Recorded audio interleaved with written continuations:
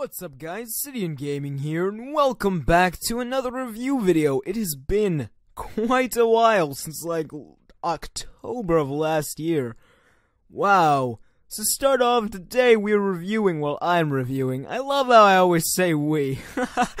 today I'm reviewing the Skylimite T10 Gaming Mouse. So I figured I would start with my favorite feature that the keyboard has. You can change the colors by simultaneously clicking the FN as well as F1 through F7. And that'll change like red, blue, green, white, yellow. Yeah, I can't remember. Blue, like a lighter blue. I, I don't. Okay, you guys, you guys, I'm showing clips right now. Don't judge me.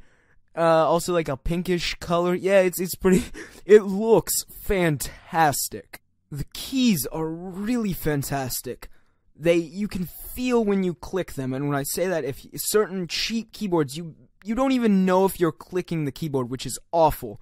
On other cheap keyboards, it sounds like you're mashing it like a crazy person, and it sounds awful. This keyboard has neither of those bad qualities. It is.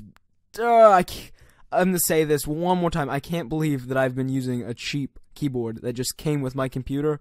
I just, I don't even know. I just, it's so nice. Under the keyboard, there are little feet that you can flip up, and it'll actually lift the keyboard on an angle, not too too much. And oh my gosh, I love it so much.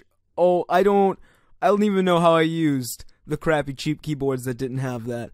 I don't. It, you guys would be surprised how much that is useful.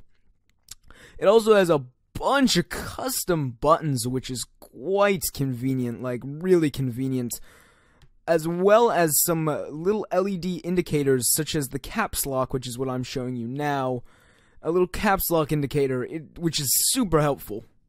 So far, I've only had positive things to say. The only negative I can think of which isn't a big deal, is the USB connected to the keyboard is not a braided cable, which is not the end of the world, like at all. You, it, it's not like a mouse where you need that braided cable because you never mess with the keyboard; it just doesn't move. So it's not a big deal, but I, I figured I would add that in if you cared. So now here's the hard part. I have to decide whether I suggest this or not, and I do 100%. I'm gonna be honest, I didn't see the point in a gaming keyboard because I've never had one. I was like, why would you pay like $70 for a keyboard? Oh my gosh.